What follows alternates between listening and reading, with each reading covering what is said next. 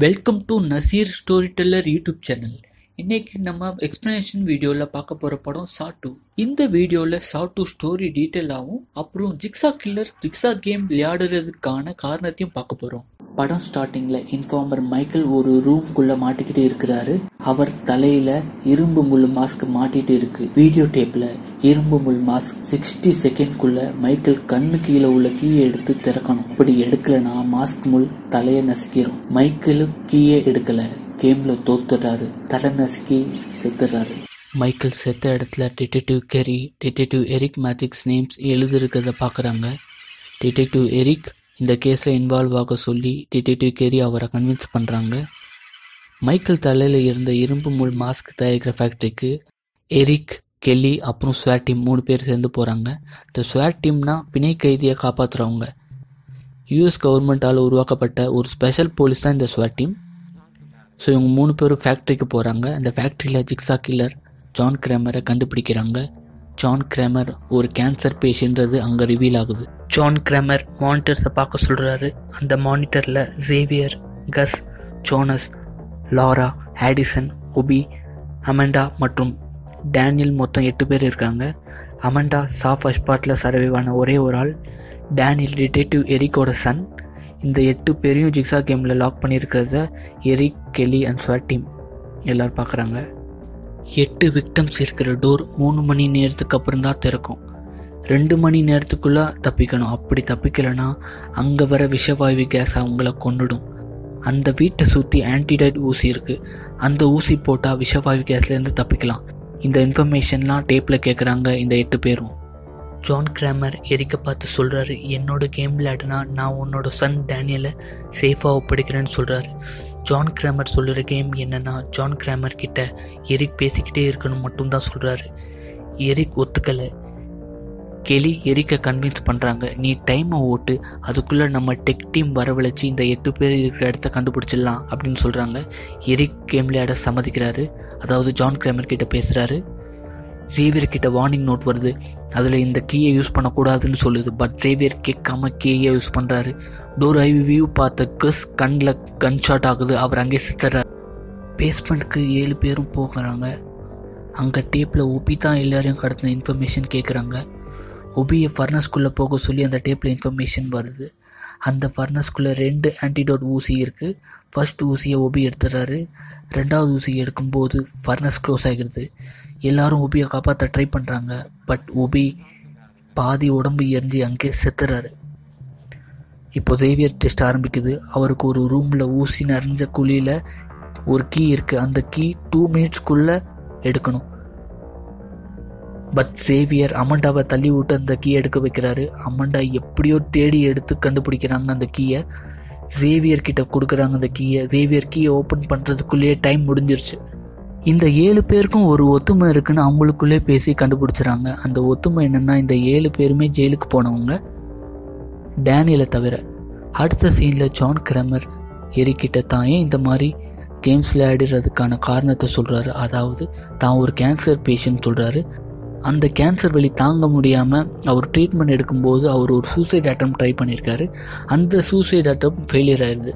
அந்த ஃபெயிலியர் மூலமாக அவர் கண்டுபிடிக்கிறது அவர் வந்து சர்வைவல் ஆகிறதுக்கு தான் இந்த ஃபெயிலியர் ஆகுது. அவரால் சாக முடியலன்னு ஸோ அந்த சர்வைவல் தான் அவர் இந்த ஜிக்ஸா கேம் விளையாடுறதுக்கான காரணம்னு சொல்கிறாரு அதுக்கப்புறம் ஒரு ஃபேமஸ் அவர் டாவன்சி தேரி கோட்ஸையும் சொல்கிறாரு இந்த உலகம் சர்வைவல் ஆஃப் த ஃபிட்டஸ்ட் நோக்கி இருக்குன்னு சொல்கிறாரு நான் வாழ்கிற கொஞ்ச நாள் வாழ்க்கையில் இந்த வாழ்க்கை எவ்வளோ பெரிய வரம்னு அடுத்தவங்களுக்கு தெரிய வைப்பேன். நான் அடுத்தவங்களுக்கு ஒரு இன்ஸ்பிரேஷனாக இருப்பேன். அதாவது ஒரு முன்மாதிரியாக இருப்பேன்னு சொல்கிறாரு ஜான் கிராமர் எரிக் பொறுமையை இழந்துடுறாரு ஜான் கிராமர் டாக்குமெண்ட்டை கிழிச்சு போட்டுறாரு. அவர் அடிக்கவும் செய்கிறாரு உண்மையை சொல்ல சொல்கிறாரு பட் ஜான் கிராமர் உண்மையை சொல்ல மாட்டுறாரு டெக் டீம் வந்துடுறாங்க. ஜான் ஜான் சொல்கிறாரு அந்த ஏழு பேரும் ஜெயில் கைதிங்க. அவங்க ஜெயிலுக்கு போக காரணம் எரிக் தான். அவங்க மேலே பொய்யான வழக்கை ஜோடித்து அவங்களை ஜெயில் போக வச்சுருக்காரு. இந்த எரிக்னு அந்த உண்மையை சொல்கிறாரு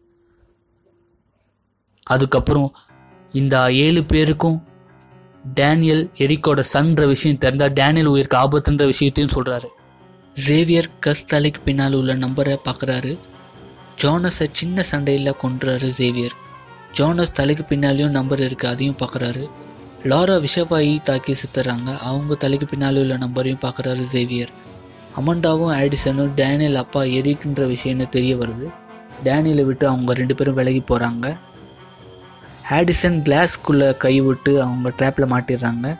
ஆடிசன் தலையில் உள்ள நம்பரையும் சேவியர் பார்த்துறாரு இன்னும் அமண்டா டேனியல் அவங்க ரெண்டு பேர் தலையில் உள்ள நம்பர் மட்டும்தான் அவர் பார்க்கணும். சேவியர் அமண்டாவும் டேனியலும் ஃபாலோ பண்ணி போகிறாரு அவங்க தலைக்கு பின்னால் உள்ள நம்பர் சேவியருக்கு வேணும். சேவியர் கிட்ட அமண்டாவும் டேனியலும் மாட்டிடுறாங்க. டேனியல் அடித்து போட்டுறாரு சேவியர் டேனியல் மயக்க போட்டு விழுந்துறாரு. அமண்டா சேவியர் பார்த்து சொல்கிறாங்க உன்னோட தலைக்கு பின்னால் உள்ள நம்பர் நான் பார்த்து சொன்னாதான் அதை நீ உனக்கு தெரிஞ்சுக்க முடியும்னு சொல்கிறாங்க இதை கேட்ட சேவியர் தன்னோட தலைக்கு பின்னால் உள்ள தோலை வெட்டி எடுத்து அந்த நம்பரை பார்க்குறாரு. அமண்டா கிட்ட வராரு. டேனியல் மைக்கேல்லேருந்து எந்திரிச்சு ஜேவியர் கழுத்தை அடுத்துறாரு ஜேவியர் அங்கே செத்து போயிறாரு. இந்த விஷயத்தெல்லாம் மானிட்டரில் பார்க்குற எரிக் ஜான் கிரமர் அடித்து அந்த ஆறு பேர் இருக்கிற ஸ்பாட்டுக்கு போகிறாரு ஜான் கிரமர் உட்காந்த இடம் ஒரு லிஃப்ட் டெக் டீம் ஃபாலோ பண்ணி வராங்க. அவங்க போகிற இடம் மானிட்டரில் இருக்கிற ஒரு டிஃப்ரெண்ட்டான இடம். ஜான் கிரமர் ஃபேக்காக ஒரு இடத்த செட் பண்ணி அவங்கள குழப்புறாங்க டெக் டீம் குழந்து தப்பான இடத்துக்கு போகிறாங்க ஜான் கிராமர் கொடுத்த ரெண்டு மணி நேரம் முடிஞ்சிருச்சு. டேனியல் ஜான் கிராமர் இருந்த ஃபேக்டரி கிட்ட சேஃபாக லாக்கரில் ஆக்சிஜன் மாஸ்க் போட்டு வராரு. எரிக் அவர் சன் இருந்த ரூமில் மாட்டிக்கிறாரு. எரிக் ஒரு பிக் ஃபேஸ் மாஸ்க் போட்ட ஒரு ஆள் அடிக்கிறாங்க. அது வேற யாரும் இல்லை அது அமண்டா தான். எரிக் பக்கத்தில் ஒரு டேப் ரெக்கார்ட் இருக்கு. அதில் ப்ளே மீன் போட்டிருக்கு. அவரோட காலை கட்டி போட்டிருக்காங்க அமண்டா அமண்டா ஃபர்ஸ்ட் பார்ட்டில் ஜான் கிரேமர் சொன்ன மாதிரி கேம் ஓவர்னு சொல்கிறாங்க படம் முடியுது. கதை சுருக்கம். ஒரு ஜிக்ஸா மர்டர் மூலமாக எரிக்க வரவழைக்கிறாரு ஜான் கிரேமர். அடுத்த எட்டு பேர் அடங்கிய ஜிக்ஸா கேமில் எரிக் சன்னை சிக்க வைக்கிறாரு. எரிக்கையும் கேம் விளையாட கூப்பிட்றாரு.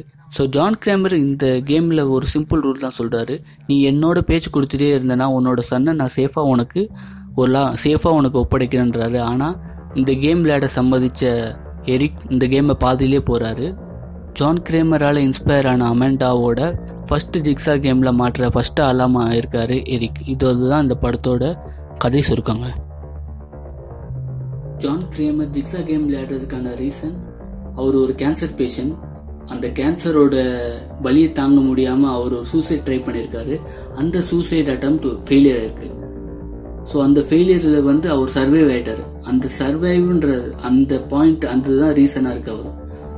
ஸோ அந்த சர்வைவ் ஆன அது ரீசன்னால அவர் இந்த உலகமே சர்வேல் ஆஃப் த ஃபிட்டஸ்ட் அந்த கோட்ஸ் இருக்குல்ல டார்வினோட தியரி அதை வந்து முழுமையாக நம்ப ஆரம்பிக்கிறாரு. ஸோ இதுதான் ரீசன் ஜிக்ஸா கேம் விளையாடுறதுக்கான ரீசன் ஜான் கிரேமர் ஒரு கேன்சர் பேஷண்ட் ஸோ அந்த கேன்சர் அந்த வலி தாங்க முடியாமல் அவர் ஒரு சூசைட் அட்டம் ட்ரை பண்ணார். அந்த சூசைட் அட்டம்ல ஒரு சர்வைவல் தான் லைஃப்க்கு முக்கியன்றத கண்டுபிடிக்கிறாரு.